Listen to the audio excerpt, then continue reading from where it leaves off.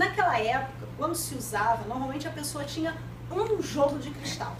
Era o jogo de cristal, né? Que tinha tudo, todos os tipos de taça. E quando você dava uma festa, uma recepção, você tirava tudo de dentro do armário, tá? Então era organizado da seguinte forma: os mais altos atrás, né?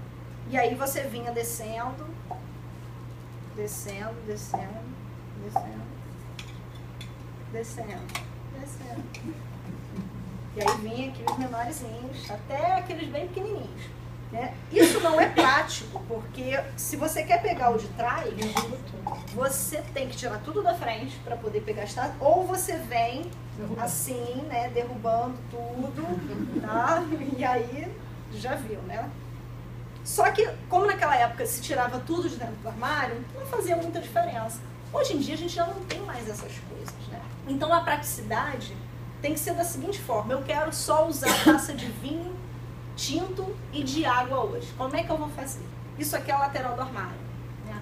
Você começa pelos mais altos, próximos da lateral do armário, e vai descendo até os pequenininhos no meio do armário.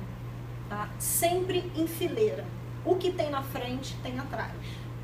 Tá? Por que isso? Quando você olhar, você sabe que aqui é tudo taça de champanhe, aqui é tudo copo de suco, aqui é tudo xicrinha de café, digamos. E mais, se você não tiver, por exemplo, aqui está faltando um, você só tem três.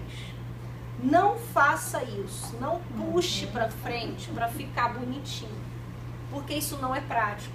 Quando você olhar teu armário de frente, você vai olhar e vai falar assim, ah, tá tudo completo. Aí quando você for usar, é que você vai ver que tá faltando um. Então, deixa o buraco na frente, que é para você saber que tá faltando um.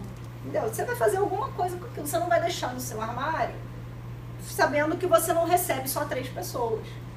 Né? Então, ou você completa, ou você deixa aqui para saber que tem apenas três.